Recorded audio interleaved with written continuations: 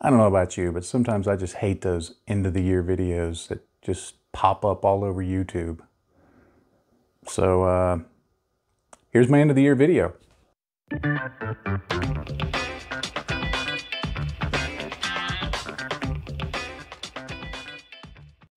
Okay, so maybe this won't be the typical end of the year video. Maybe it will. I, I hope that it's in some way useful but it's just some things that I've been thinking about that over the course of this last year, 2021, that I've learned or discovered or rediscovered or in some way had it impressed upon me that yeah this is this is a thing that you really need to remember. One of the biggest problems that i have uh, especially as i get older in modeling is remembering the things that i know if that makes sense there's there's things that I'll later look at a model and go, oh yeah, I could have done this and I know how to do that and there's this technique and this product and well you've got this thing down in the drawer that could have done this. And I forget about a lot of those. There have been times that people would, you know, I'd show a friend a model and they would say, hey, that looks good. Why didn't you do this? And I'd go, yeah, why didn't I do that? I just completely forgot that you could do that.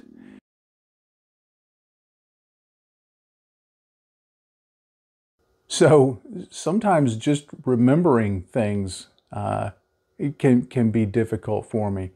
But I think if we're trying to grow in the process of modeling, there's always going to be things that all the time that we discover, that we learn, that we refine, that we grow upon. You know, like the, the first time you dry brush, well, you basically know how to dry brush.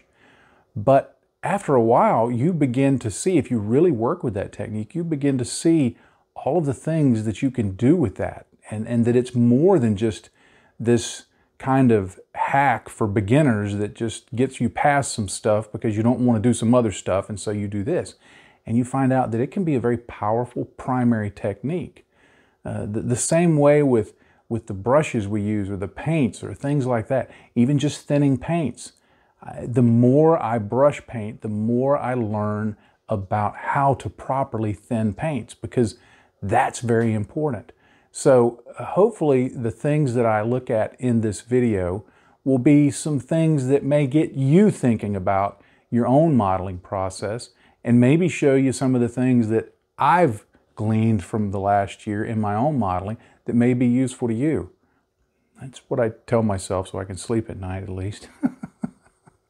Now I'm going to do this in kind of a list of favorites, things that, that I'm going to call my favorites. And, and that may be a loose term for some of them, um, but that's, that's what I thought uh, it would be fun to do is look at them as my favorites and then kind of explain why. Now my first favorite is my favorite model. This was kind of hard to pin down because if you've been keeping up with my channel, you'll remember I built uh, a Maschinen Krieger Gladiator, which I had a lot of fun with. That is a great kit with lots of opportunities for detail painting and weathering and so many other things. It's a really great model. And then there was also that Star Wars Legion uh, Patrol Transport. Man, that was a fun kit. Just an absolutely fun kit. And another one that I would highly recommend, even if you don't play the game, that's a great one to check out. But when I really started looking at the model that I had such fun with that by the end of the build I didn't want it to end, that had to be the Warhammer 40k Chimera build that I did earlier this year. The Chimera is a tracked kind of armored personnel carrier vehicle, but I did a resin conversion to make it into a wheeled vehicle. It had six wheels.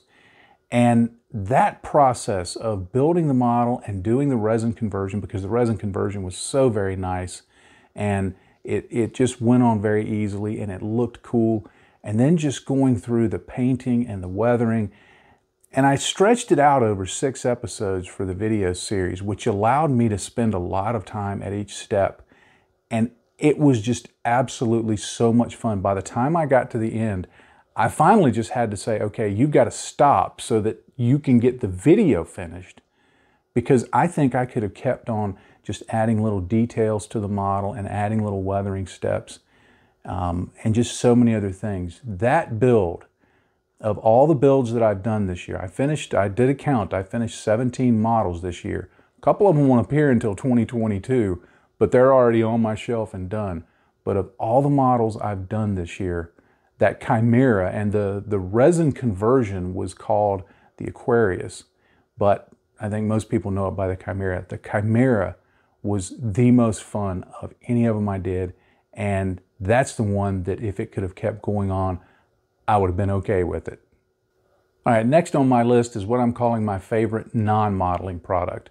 And you know there's a lot of products that we use in our hobby that aren't designed for modeling, but we can make great use of them. And, you know, it's the kind of thing that when we tell others about, they say, oh yeah, that's pretty good, I'll try that. And there's a lot that I use in my day-to-day -day modeling. I mean, everything from toothpicks to Q-tips to uh, to thing, you know, things like that. Just very ordinary kind of things that are not for modeling, but they have great use in modeling. But I think this year, the the the the and it's kind of a new thing for me. But the non-modeling product that I've made the most use of and had the most enjoyment from is makeup brushes. And you know using those for dry brushes. Now yeah there are modeling specific brushes made for that and they work great. But there's there's something about going and getting a big old cheap pack of those round fat makeup brushes and doing some dry brushing on a model it will transform your dry brushing now if you like the modeling specific brands stick with them but I've tried them all. And I have to tell you that while the modeling specific ones are very nice and they work very well, when you talk about the cost involved, getting a, a cheap pack of makeup brushes is so efficient and they work just as well. Uh, they, they, they have all the qualities that the really nice ones do, in my opinion, and they work so nicely. So that's been something that this year I've just really enjoyed using and it's become something that sits on my modeling desk and it's one of those, I have to have this. I can't do without it. And the great thing is, if for some reason all of the brushes that I have are so beaten and battered and worn that I can't use them anymore, well, I just drive up to the dollar store and get a whole nother pack of them again. Even though it's no longer the dollar store, I think it's up to a buck fifty now. But I, I can go get a pack of them really cheap and I'm right back in business. Now for my favorite modeling product, something made specifically for modeling that, that, uh, that we use. I think, and, and obviously there's, there's hundreds of products I use in any particular year. You probably do too.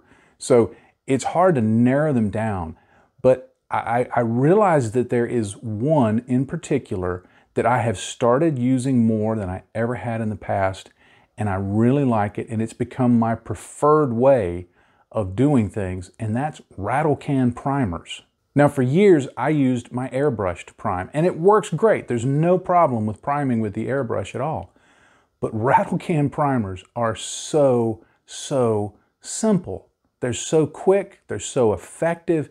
I go out into our garage, I open the door of the garage just a little bit, put on my respirator, and I hold up whatever it is. I get a rubber glove on this hand and I hold it up and I take my rattle can and I, you know, you psh, psh, and in just a, a minute or two, everything is covered, everything's ready to go. I can put the lid on the rattle can. I can set the stuff down for a few minutes. There's no cleaning up of the airbrush. There's no, uh, there's no thinning. There's no mixing. It just works. It's not to say that I always use rattle can priming, but it has become my go-to method of priming. And unless a model has a lot of shapes and nooks and crannies, or I need a particular color that I don't have in the rattle can, it's always going to be the rattle can because it's so easy, it's so fast, and it's so efficient and lets me get on to other things. Now, as with modeling products, there's a lot of modeling companies that we interact with. And there, there are so many out there, it's really hard to narrow them down, of course. Um, there's paint makers, there's model makers, there's tool makers, there's weathering product makers. It, there's, there's so many manufacturers out there. But as I thought about this area of what has impressed me over the last year, I started thinking about okay, who has impressed me with the consistency of their products? Now, certainly companies like Tamiya or Mr. Color, uh, they have great consistency over the years. I've used, for example, for Tamiya, I've used them over the years many times because their products just don't fail. They're great products and I really enjoy using them. But I've started using products from a company that I think is fairly new, or at least new to me, and that's VMS. Now, VMS, they make a lot of, I guess, what you'd call auxiliary products. They make various thinners and decal setting solutions and oil enhancing uh, products that help make the use of oils dry faster and make sure that they're matte. They have a wide range of products available. And I, I heard Martin Kovacs from Night Shift Scale Models talk about using their Oil Expert product to help your oils dry faster. And I, I, started using that and I really liked it. And then I heard about another product they had, so I tried that and I really liked it. I think it was their satin finish. And over the year, I've just been picking up a few more products and a few more products from them. And every single one works really top of class for every one of them. They're all great values. Um, they're shipped. I don't know if they're shipped from the Poland, from Poland or the UK, but the shipping is very, very reasonable. In fact, in many ways, the shipping from them, even coming here to the US, is cheaper than ordering from some companies in the US. So shipping is not a problem. But every one of them. It's become a company along with Tamiya and along with Mr. Color that I don't hesitate to just recommend the product simply because of the company, even if I've never tried the product. And you say, well, that may be a dangerous thing. It can be, but after a while, the reputation precedes the product. And I've been so impressed with VMS this year that I would not hesitate to say, try anything from VMS. Not that the other companies don't have products that aren't good, but everything from VMS just seems to be top of the line. Now there's a lot of phases in building a model. There's the, the construction phase, there's the, the priming phase, there's painting, there's weathering, all of that stuff. I, I, don't, I don't make it any secret that my favorite part of building a model is weathering it. And so weathering it is what everything else is directed to. If, if I ever became insanely rich, I think I would hire a staff of people to build the models and prime them and base paint them for me because I don't mind doing that. And sometimes it can be fun, of course, but I, I just want to weather stuff. That's what I really like.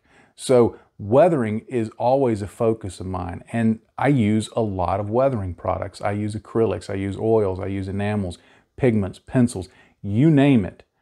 I'll try it and I want to learn it and I want to figure out how to make sure that that is a viable tool in my toolbox when I'm considering what I want to do on a model.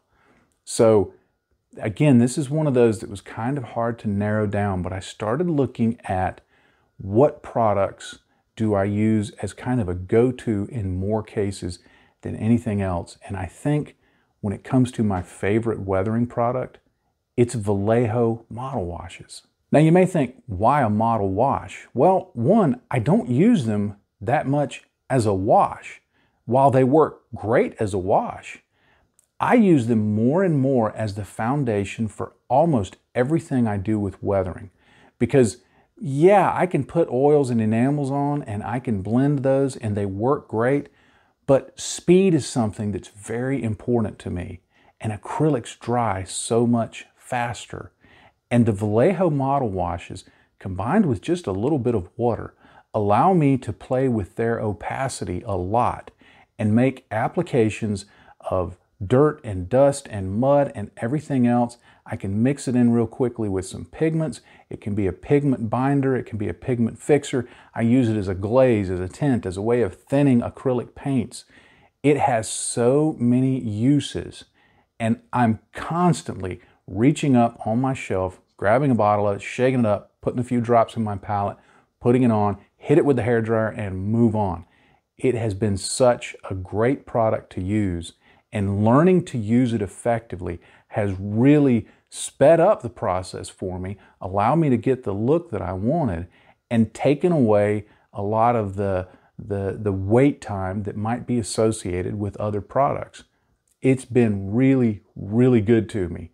And I want to I want to make sure this year that I get the whole line of them so that I can have all of those colors sitting right there and available and make use of them at any time. Now, as sort of a follow-on to that, but it wasn't exclusively tied to the use of Vallejo model washes, there's what I'm going to call the favorite thing I discovered that I actually already knew, and that's making use of opacity. Now, I've always worked with and understood and used opacity in my work, but it's, it's been this year that I seem to have jumped in how I think about it in a, in a way that has been very helpful for me to really start working with low opacity layers. You can call them glazes, you can call them whatever you want, but it's just working with opacity and seeing how effective and how, how much working with opacity in your paints adds to the depth of finish. It's not just about making smooth transitions. Sometimes making use of opacity can be in areas that are kind of harsh in terms of their transition, but to really provide some distinction in areas on the model. Eh, more and more, and it's not just smooth paint either. Quite often, you know, we're told rightly, thin your paints down. Well, when you put it on thinner, it doesn't cover as well, so it takes a few more coats. But it's more than just that kind of opacity. It's the ability to put some paint on, to put some highlights and some shadows, and then use another paint or one of those Vallejo model washes or anything like that and thin it down and use the opacity to get effects that you would not otherwise get with the paint. To, to be able to, uh, for example, uh, using contrast paints from Citadel uh, to do a lot of highlights and shadows with, with white and black and all sorts of gray in between, and then going in with very thin coats of, say, contrast paint, or again, those Vallejo model washes or any paint, and putting it over it and shifting everything towards a certain color so that it reads as a certain color, but you've done all of the hard work with just black and white, which is really simple to see and to make sure you're getting it looking like you're wanting. So the use of opacity has really transformed what I feel I'm able to accomplish on a model now in a way that just a year ago, I don't know that I would have been able to articulate in the same way. So if you're not already thinking in terms of opacity with your paints, with your other modeling products, start thinning them down a little more. Start lowering the opacity and seeing what happens when you build it up and when you when you give multiple layers of it and look at how it changes the depth of finish. It's really transforming. And this next category I'm going to call my favorite channel, uh, specifically my favorite YouTube channel. M my routine in any day is to get up very early, about 4.30 every morning, and I work on models until I have to go to my day job. I come home from my day job, have dinner, uh, me and my wife go on a walk, uh, we spend some time together. When we get back from that, I sit down and do some more modeling. But before I turn in for the night, I always like to watch some YouTube videos about modeling because it helps me extend my knowledge. It helps me find new things, new ways uh, to do things, to refine things. Even if it's a video that I've seen before, quite often I'll note something that I had not noted previously, and it's very helpful to me. And that's pretty much exclusively all I watch. I, I, I, I'm an old guy. I tend to lump all of those things into what I call TV, even though I'm watching them on my Chromebook. So I don't watch what I generically call TV. I don't watch broadcast TV. I don't watch Netflix. I don't watch Hulu. I don't watch movies. I just, I don't. I, I don't have the patience anymore to sit and watch stuff like that. Unless it's Star Wars Disney, waiting on that book of Boba Fett, ain't we? Oh, yeah. But um, anyway, I watch a lot of YouTube, and there's a lot of great channels out there. And I mean, some of my favorites are like Night Shift Scale Models with Martin Kovac, um, uh, Duncan Rhodes Painting Academy. I, I, I love watching his work. Lincoln Wright's Paint on Plastic. Uh, I count him as a friend, and I'm thankful that I can. And he's he's got such great work that's so helpful. And there's and, and there's so many others that I watch and that I really enjoy and that I learn from and that I appreciate. And and I, I, I hate that I can't even list all of them out. It would just take too long.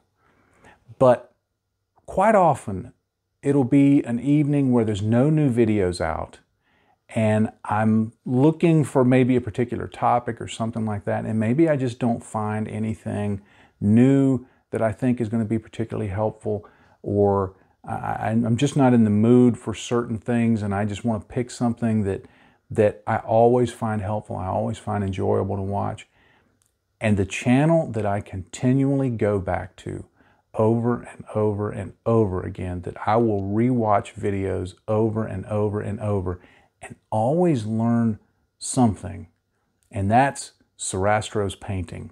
Now, Sorastro's painting is Mark Sorastro, and I, was blessed to interview him. Uh, I think it was late in 2020, or maybe it was earlier this year in 2021. I forget. But he's he's a wonderful guy. He has such a very calming voice.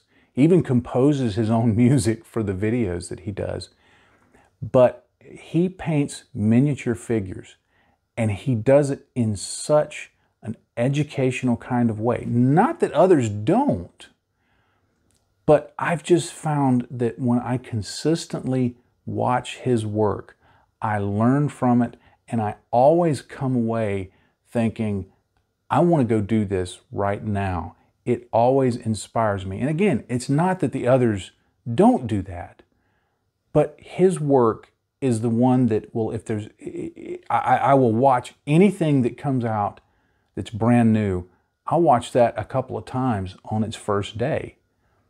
But when I'm thinking, okay, you know, what do I want to watch? He's going to be in my playlist at least once every single day because I enjoy his work so much. I learn so much from it. To watch it at the end of the day, it's just very relaxing. It, it helps, not that I want to say it puts me to sleep, but it's, it's not loud, it's not jarring, it's not in your face. It's just very matter of fact and calming and instructional, and it's some great stuff. So if you've not checked out Sorastro's painting, I, I highly recommend you do so. Now, all those others that I mentioned, check them out too. But Sorastro's painting to me is really something special. Well, by my count, that's seven things. I tried to come up with a top 10 list, but I, I, the other three things that I came up with, I thought, okay, those are kind of stretching it. And, uh, and that's going to bump you up on the time limit that I like to try and get my videos in under, which is about half an hour. So I'll, I'll stop here in terms of listing things. But this, this is a great time when we're thinking about the end of one year and a new year coming up to just reflect on what models have we built in the last year? What products have we used? What techniques have we used? Where have we grown? Where would we like to grow? And it kind of helps reset where we're at in our modeling and give us a fresh perspective on the year coming up. Yeah, it's just an arbitrary date. I get that. But I think it's important that every now and then we look back and use the information from what we see where we look back and then we apply that to going forward, and that's going to help us grow in the model. And as I, as, as I always try to emphasize, growth in the hobby equates to having fun. And having fun is what this hobby is about. So all of these things that I've talked about, ultimately, the reason they're important to me is because they've contributed to my fun and my enjoyment of the hobby. And that is worth it. Well, I guess there's one more favorite that I have, and that is everybody who watches my videos. I know that, you know, this is what you expect people to say, but I really, truly mean it. It means a lot to me to know that everyone who watches this video is taking some amount of their precious time, their time in a day. We only have 24 hours in a day. And to know that somebody would take some of their time from their day to watch something that this idiot in North Carolina, USA, does really means a lot to me, especially when you leave comments in the videos and things like that. That just goes above and beyond all of it and lets me know, you know, that that to know you're watching and to know you're finding it helpful and to know that that I'm hopefully contributing in some way to your enjoyment of the hobby. That's why I do it. Yeah, I would like for the numbers to be higher. And, you know, I'd love to be one of those guys that does the video that announces, you know, well, I'm quitting my day job and I'm going to be a full time modeler because I have so much YouTube and Patreon support. I'd love that. It's probably not ever going to happen. I'm okay with that. I'm going to keep modeling. I'm going to keep having fun.